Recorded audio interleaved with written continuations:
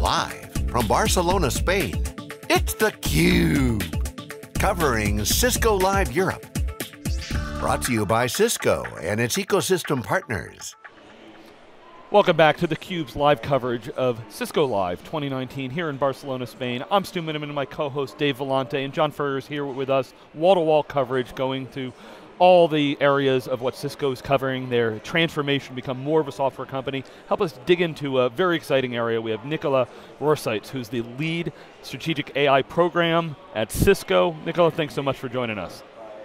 Nice to meet you. All right, so AI is something that you know pervading everything that we talk about. We definitely have the, the buzz and the hype in the industry. Uh, you sit at the nexus of all the different areas inside of Cisco. So, you know, give us a little bit about, you know, your role inside the company. Uh, you've been there about two years, and uh, kind of the, the, scope of what you, you, you, you, you do there. AIML has a long history inside of Cisco.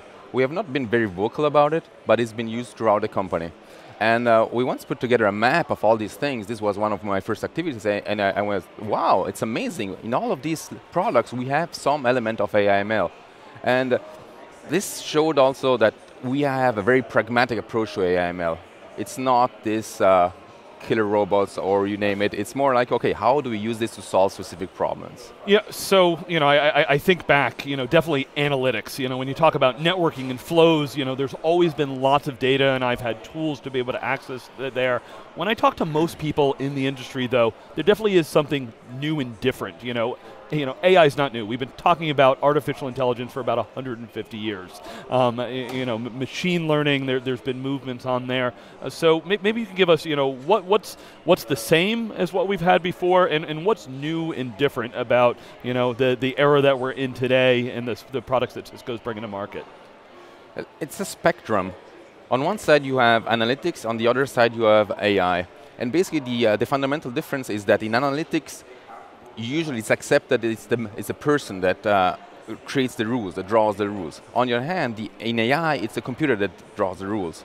So uh, in between those, there is a gray zone in which uh, you evolve and there's more and more done by the machine. But it really depends from the specific area in which you want to apply it.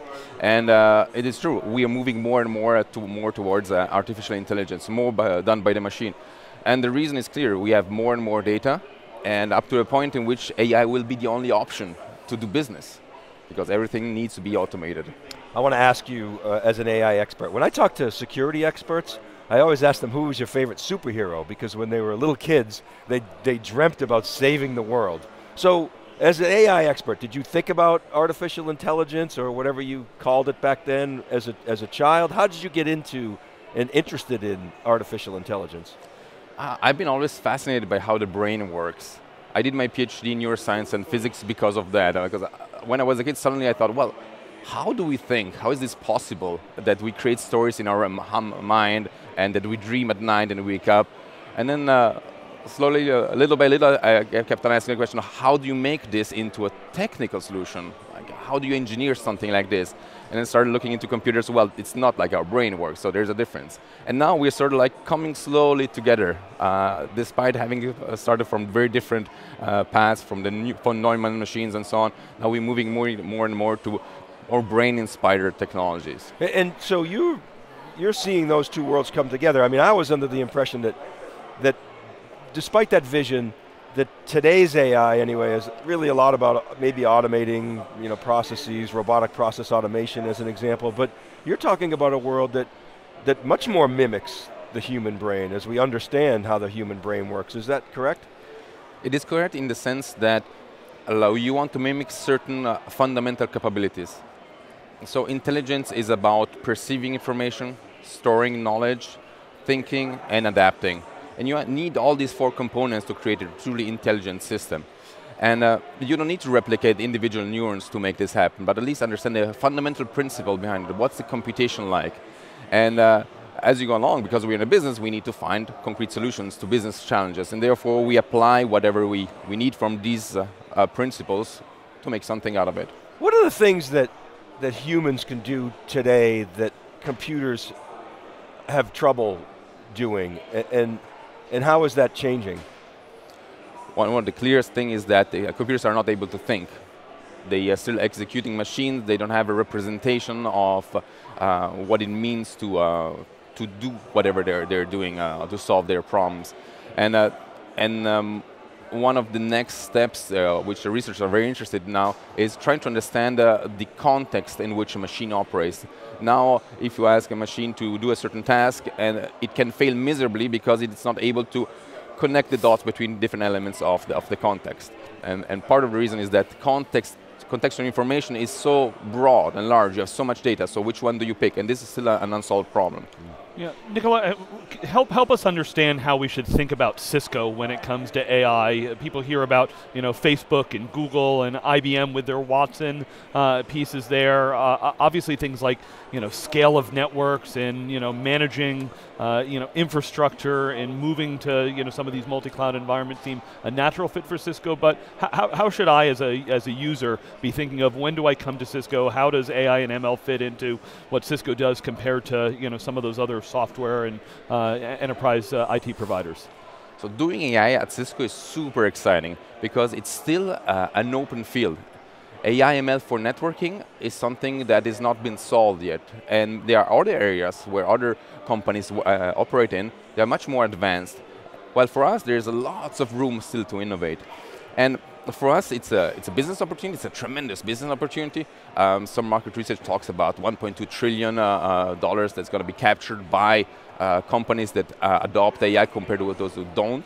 Uh, but for Cisco, is is really a necessity because data is going to flow more and more through our networks. How do we handle that? And what people don't realize in general, compared to what's out there, that ML for networking is a different beast. Uh, for one, the data is different, and often it's encrypted. So how do you do AI on encrypted data? And every network is unique. And these are two fundamental differences that uh, um, force us to be creative uh, and to pioneer new ways of doing AI. And this is super exciting. Yeah, uh, does open source play into the activities that, that, that your, your different product groups are, are working on? So in general, AI has has been driven by a very uh, lively AI uh, community in the open source uh, world. And, and then the, the question comes when we, uh, we talk to our partner and customers, how do you bring these solutions to production? Because certain uh, packages of open source cannot be applied directly. And this is one of, uh, of the main pain points of the IT teams and data scientists and data engineers. I want to ask you about the black box phenomenon. Um, as a human, I can look at a dog and I can see it's a dog immediately, but I can't really explain how I know it's a dog. I, I can, but I could be describing another animal. Um, computers can figure out, but we don't really know exactly. It's a sort of a black box inside. Is that a problem? Um, do, do, we need to make AI more transparent, or is it increasingly going to be a black box that we just trust? What are your thoughts on that? It depends on the situation. Um, you came here by plane. Do you know exactly how the plane works? I don't. I sort of have know the principles, but I trust the industry, the regulations, everything that they they have checked all everything. And to me, it's a sort of of black box. However, if there are certain things that I have to go under, like surgery, so I want to know exactly what's going on. and uh, the same thing here uh, in AI. So there's uh, the black box phenomenon. You don't know exactly, okay, how does this work? And on one side, I uh, understand it and it makes sense. You want to be sure that uh, you know what's going on. On the other hand, uh, sometimes uh, you want a result and you don't really care about exactly how it works because ultimately uh, the risk is not that high. Like, and so you have to you have to really think about what kind of risk management, how deep you want to look into it. And um, but uh, the problem of transparency has been uh, been researched a lot uh, because of course there are certain phenomena that touch the, the social sphere. Like, and, and there we have to be careful. When it touches private data, how are, is private data handled and so on, that is very important, of course. Yeah, uh, Stu and I often, when we do these conversations, John as well, we often ask ourselves, okay, how far can we take AI and how far should we take AI? So maybe a couple of examples, if I may. Do you expect that within, let's say, the next 10, 15 years, that machines will make better diagnoses than doctors? Oh, they already do. They already do. Okay. The research has been shown that uh, in, in, certain cases, specific cases, uh, uh, uh they have better accuracy. However, to bring that again into production uh, at, the, at the level that we go to the hospital and there's a machine that helps us uh, to diagnose, uh, well, we're still at least some years away because there's all the process of, of certification.